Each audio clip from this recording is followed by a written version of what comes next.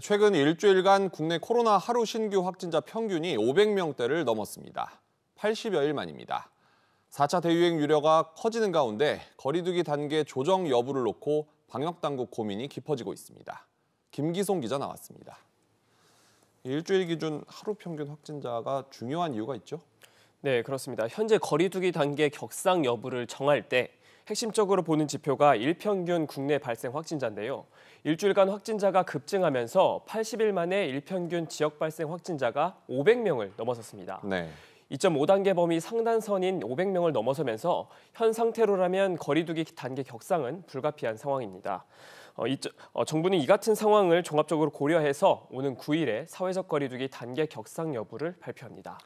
4차 대유행 우려가 갈수록 커지는데 당국 입장은 뭡니까? 네, 윤태호 중앙사고수습본부 총괄반장은 많은 전문가가 3월 말부터 4월까지 4차 유행이 온다고 예측하고 있지만 이게 본격화한 부분은 아니다 이렇게 진단을 했는데요. 이어 정부는 비수도권, 이렇게 비수도권의 집단 감염 확산세가 크기 때문에 이 부분만 잘 대응하면 확산세를 안정시킬 수도 있을 것으로 보고 있습니다. 네.